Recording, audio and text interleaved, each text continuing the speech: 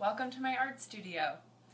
My name is Fay Wyles, and I've been invited by the Dana Point Symphony Orchestra to exhibit my artwork following their upcoming concert on Saturday, April 18th. I'm very excited to be showing many new paintings, which have never been seen before, based on my new painting series called Sunset Sessions.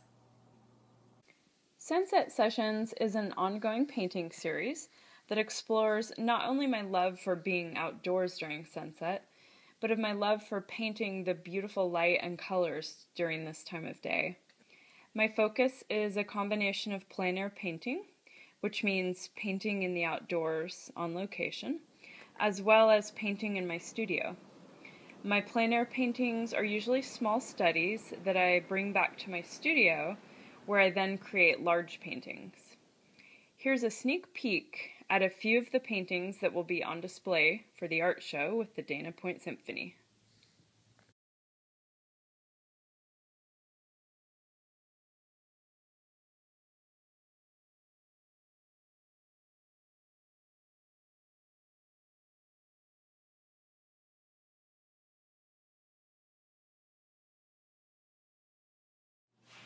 So I invite you to walk over to Knight Hall following the concert to view my artwork, meet me, and enjoy some food and refreshments.